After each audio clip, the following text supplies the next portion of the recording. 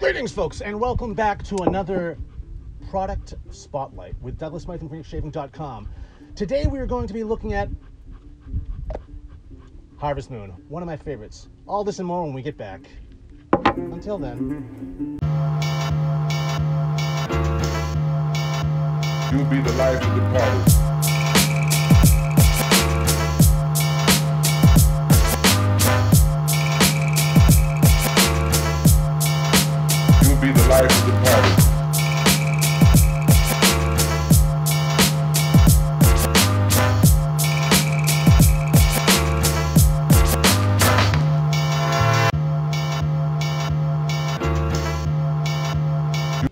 Well, folks, today, in the moment, right now, in the middle of the freaking desert, I'm going to be digging into one of my favorite scents of all time, Harvest Moon.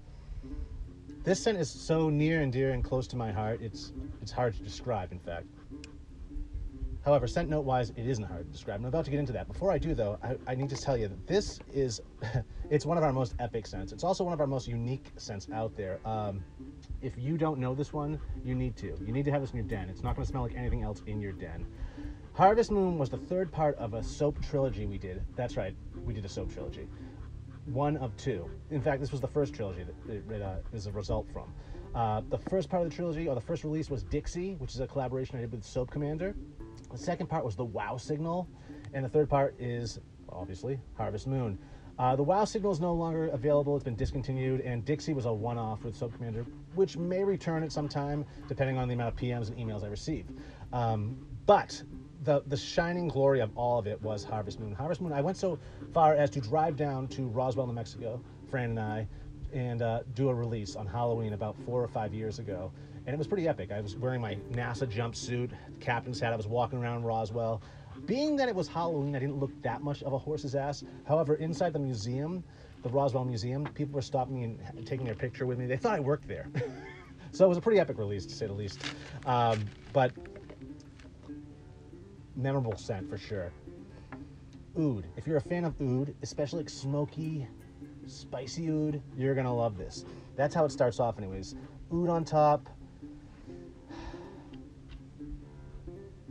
smoke, green tobacco, black currant, tobacco absolute. I need to mention there's more uh, tobacco absolute in the aftershave than there is the soap, only because soap as a matrix for a scent is so fleeting. It's so one dimensional. So, I mean, because it doesn't have enough time to really evolve and develop on your face because you're shaving with it. However, that's why you chase it with the matching aftershave, which does have more uh, tobacco absolute, as I mentioned, as well as hay absolute, um, which gives you that in the field, ah, spooky carnival night type vibe, which you will experience when you put this up to your nose, if you've ever been to a carnival. um, Peru balsam, Spanish moss, and white sage. That gives you that spicy note, the white sage on top, which is pretty much all around me. The desert sage is, is pretty strong out here in these parts.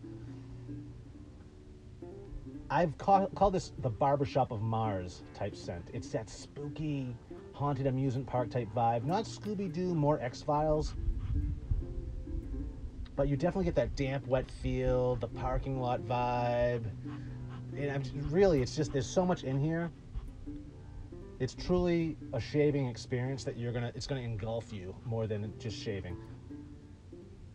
So that, in a nutshell, is Harvest Moon. I might also mention if you like to do decode stuff, do puzzles, anagrams, like all my labels, you're gonna love this one. Anagram much? Yeah, there's a story being told here, folks. So that's that, folks. Another product spotlight from your friend Douglas Smythe at PhoenixShaving.com. Prepare yourself mentally for next week's episode. Ciao. Thank